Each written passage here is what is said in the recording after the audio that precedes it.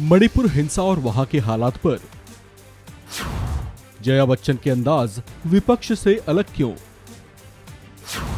विपक्षी होते हुए भी क्यों दिख रही सॉफ्ट? जितने भी स्पीचेस दिए गए हैं 2014 से लेकर आज तक, उन सबको कंपेयर कर लीजिए, आपको जवाब मिल जाएगा। हर सवाल आप लोगों का जो है, उस सब का जवाब उसमें मिल जाएगा। देख लीजिए। अब ये इसके ऊपर देखिए उनके ऊपर मैं कन, कोई कमेंट नहीं करूँगी। इस देश की प्रधान है मैं उस, कुर्सी की इज़्ज़त करती हूँ। मैं ये कहना चाहती हूँ कि उस पार्टी द्वारा उनके द्वारा जितने भी स्पीचेस दिए गए हैं 2014 से लेकर आज तक उन सबको कंपेयर कर लीजिए आपको जवाब मिल जाएगा। हर सवाल आप लोगों का जो है उस सब का जवाब उसमें मिल जाएगा। देख लीजिए। मणिपुर के ऊपर भी देख लीजिए।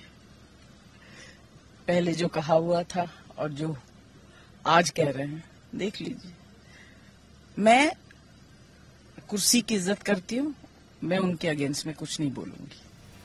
सांसद जया बच्चन के अंदाज बता रहे हैं कि इनके अंदाज में नरमी है।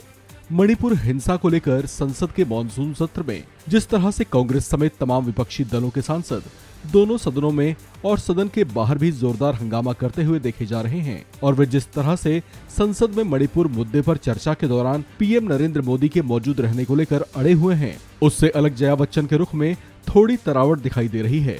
जया बच्चन है तो विपक्षी दल की सांसद, लेकिन बाकी दलों से अलग वे प्रधानमंत्री मोदी को लेकर उतनी आक्रामक नहीं दिखाई दे रही, जितने बाकी दलों के सांसद दिखाई दे रहे हैं।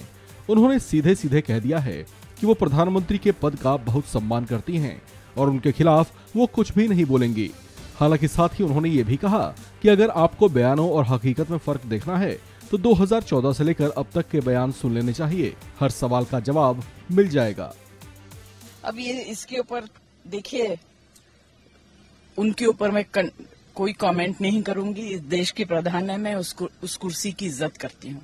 मैं ये कहना चाहती हूँ कि उस पार्टी द्वारा, उनके द्वारा जितने भी स्पीचेस दिए गए हैं 2014 से लेकर आज तक, उन सबको कंपेयर कर लीजिए, आपको जवाब मिल जाएगा। हर सवाल आप लोगों का जो है, उस सब का जवाब उसमें मिल जाएगा देख लीजिए। मणिपुर के ऊपर भी देख लीजिए। पहले जो कहा हुआ था और जो आज कह रहे हैं, देख लीजिए। मैं कुर्सी की इज़्ज़त करती हूँ मैं उनके अगेंस्ट में कुछ नहीं बोलूँगी।